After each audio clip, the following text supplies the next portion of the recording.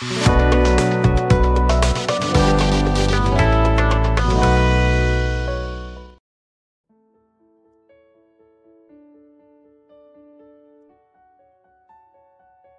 pagi dan shalom. Selamat berjumpa kembali di Renungan Harian Toraya edisi Selasa 12 November tahun 2024. Sebelum kita membaca dan merenungkan firman Tuhan, mari kita satu dalam doa. Kita berdoa. Tuhan, pagi ini kami naikkan ucapan syukur kami kepadamu. Terima kasih sepanjang malam Tuhan telah menjaga, melindungi, dan bersama kami. Sehingga pagi ini pun kami bersyukur Tuhan menganugerahkan kehidupan hari baru buat kami. Pagi ini kami akan membaca dan merenungkan firman kebenaran. Buat kami untuk mengerti kehendakmu lewat firman ini. Ini doa kami dalam nama Tuhan Yesus kami berdoa. Amin.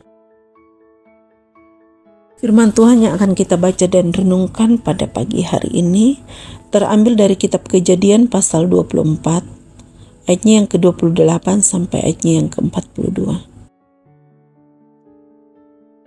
Firman Tuhan berbunyi demikian. Berlarilah gadis itu pergi menceritakan kejadian itu ke rumah ibunya. Ribka mempunyai saudara laki-laki namanya Laban.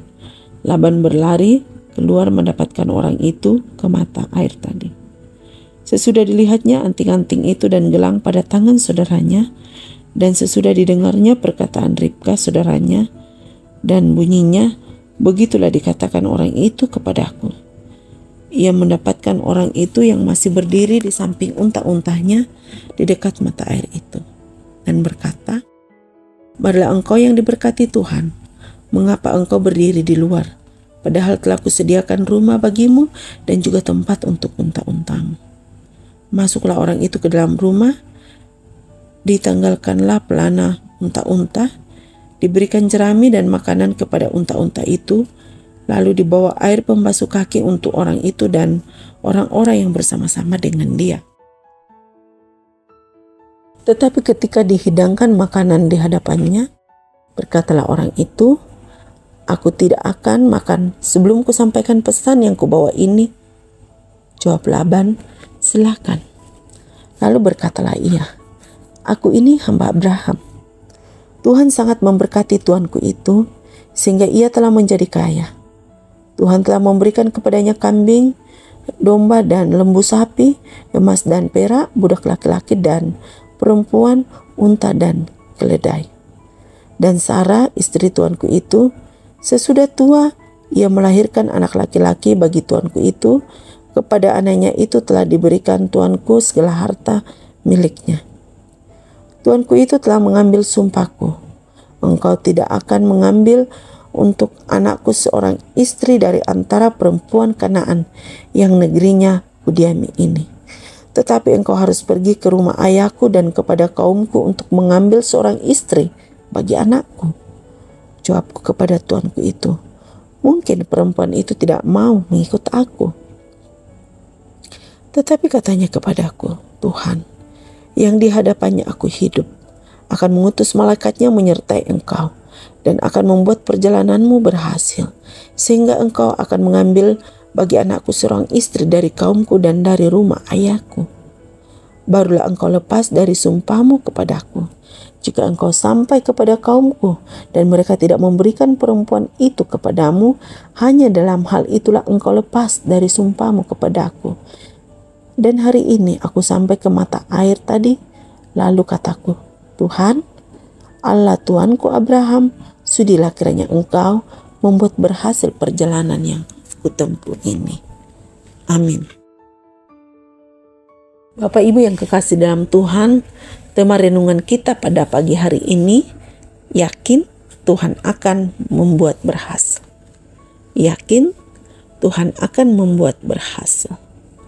Bapak Ibu yang kekasih dalam Tuhan, mengerjakan sesuatu hal yang belum pasti akan berhasil kerap membuat sebagian orang ragu-ragu, bahkan menyerah untuk melakukannya.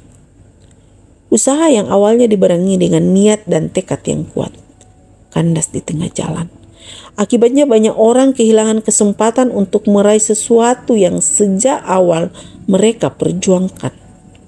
Akibatnya muncul kekecewaan, kurang percaya diri, menyalahkan diri, bahkan sampai menuduh Tuhan sebagai sumber kegagalan.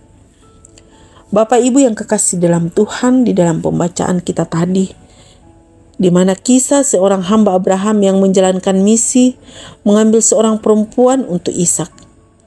Ini hendaknya menjadi pengingat bagi kita bahwa dalam segala perkara kehidupan, Tuhan ada dan pasti menyatakan pertolongannya. Jika berpikir dengan hitung-hitungan manusia, bisa saja seorang hamba Abraham ini berhenti di tengah jalan dan mengingkari sumpahnya karena misi yang dijalankan belum tentu membuahkan hasil. Ditambah lagi jika perempuan yang ditemuinya tidak bersedia mengikutnya, maka usahanya akan gagal. Namun, sang hamba menunjukkan hal yang luar biasa. Ayat 12 sampai 14 memperlihatkan bahwa dalam segala gumul Tuhan tetap menjadi sumber pengharapan. Dalam tugasnya, ia menyadari kelemahan dan keterbatasan.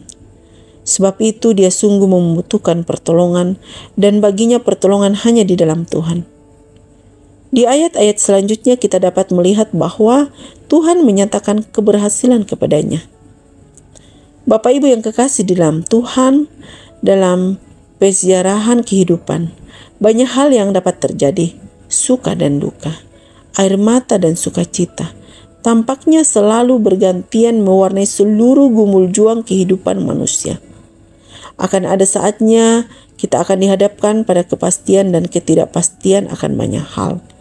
Namun pesannya jelas, di dalam Tuhan segala sesuatu menjadi mungkin. Yakin dan imanilah, Tuhan akan membuat berhasil perjalanan. Amin. Bapak Ibu, mari kita satu di dalam doa. Kita berdoa. Terima kasih Tuhan buat firman-Mu yang telah kami dengarkan pada pagi ini. Di mana firman-Mu mengajakkan kami bahwa di dalam menjalani kehidupan ini kami adalah manusia yang terbatas, manusia yang lemah. Oleh sebab itu, kami sungguh membutuhkan pertolongan daripada Tuhan. Kami yakin dan percaya dengan pertolongan Tuhan dalam kehidupan ini, segala sesuatu yang kami lakukan bisa berhasil. Ya Tuhan Allah Bapa di surga, biarlah yang firman-Mu ini dengan pertolongan Roh Kudus boleh kami praktekkan dalam kehidupan ini. Kami berdoa pada pagi hari ini buat kami semua yang membaca, merenungkan, mendengarkan renungan harian Toraya ini. Tuhan berkati kehidupan kami. Berkati kami sepanjang hari ini. Dalam segala kegiatan pekerjaan kami apa pun talenta yang Tuhan anugerahkan, apa pun profesi yang telah Tuhan berikan, Tuhan kiranya memberkati kami sehingga kami boleh bekerja dengan baik, boleh bekerja dengan penuh rasa takut hanyalah kepada Tuhan. Ya Tuhan Allah Bapa di surga, berkatilah kehidupan kami sepanjang hari ini.